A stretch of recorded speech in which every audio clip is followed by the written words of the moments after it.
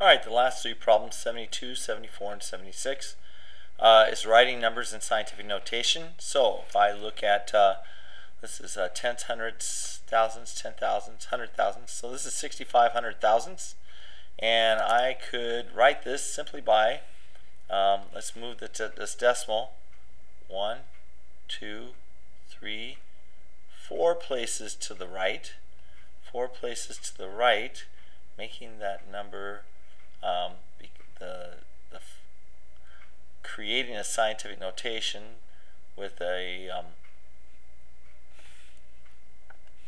with a power, a negative power. So this is going to become 6.5 times 10 to the minus, again, 1, 2, 3, 4.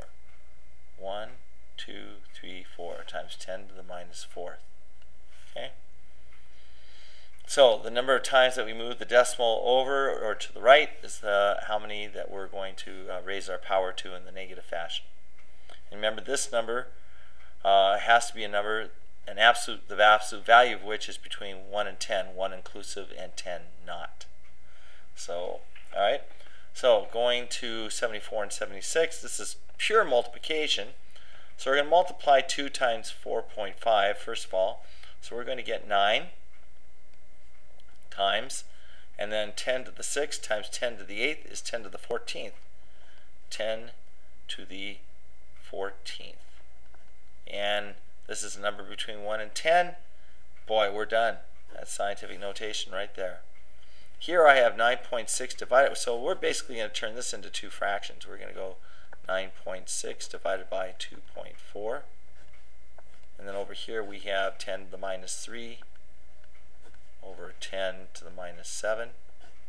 So if I go 9.6, 9.6 divided by 2.4, divided by 2.4, I get uh, 4, matter of fact.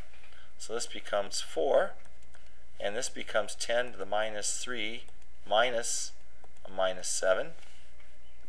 That's 4 times 10 to the minus 3 plus 7. Final answer will be 4 times 10 to the fourth. And we're done with that as well. Again, these this concludes our problem sets with 72, 74, and 76.